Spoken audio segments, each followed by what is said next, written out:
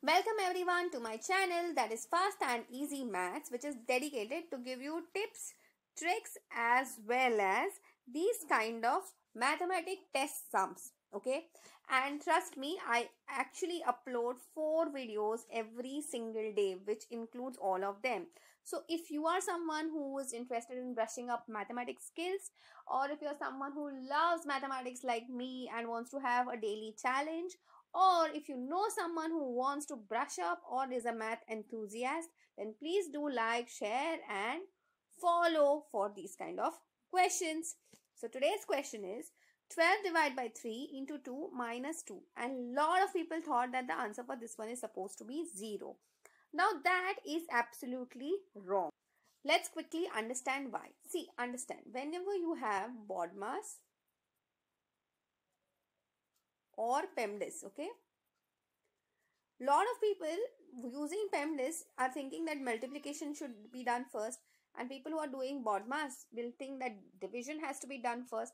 But actually division and multiplication has to be done together or rather they hold equal importance. Okay. So in that case, when you have something like this, where you have a division as well as multiplication into picture, so you just need to do go from left to right. Whatever comes first from your left hand side has to be done first. So we have 12 divided by 3 that gets you 4 into 2 minus 2. So 4 into 2 gets you what? 8 minus 2. So answer comes out to be 6. Okay. So now you might be wondering then when the answer will be 0. The answer will be 0 if the question was written in this format. Meaning the importance was or rather the precedence was given to multiplication by putting brackets on both sides.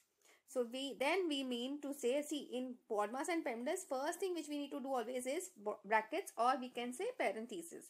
So first we will do 3 into 2 which gets you 6 minus 2 and then you would have done 12 divided by 6 that gets you 2 minus 2 here the answer would have been 0.